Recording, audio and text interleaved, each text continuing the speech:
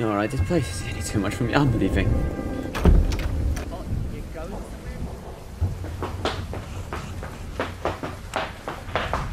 I don't know what got into me after that, but I just couldn't stop running. I just kept running and running and running until I finally got home.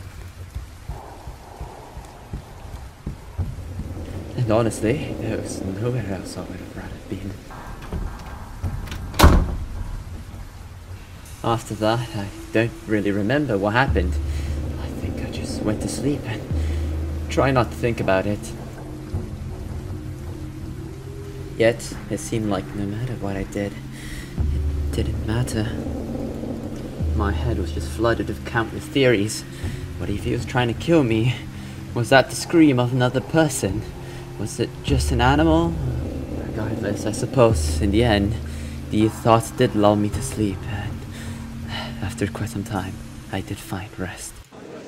And after that rest, I just went back to school and continued about my usual day-to-day routine.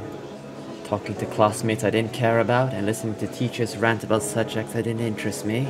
And just like that, what transpired yesterday held nothing more than a mere iota of space in the back of my mind. Something which could not be said for the students, unfortunately, who had been chattering with much more fervor and excitement than usual. And so, without much else to do, I just went to check what they were looking at. And then I saw on one of their phones they were looking at this.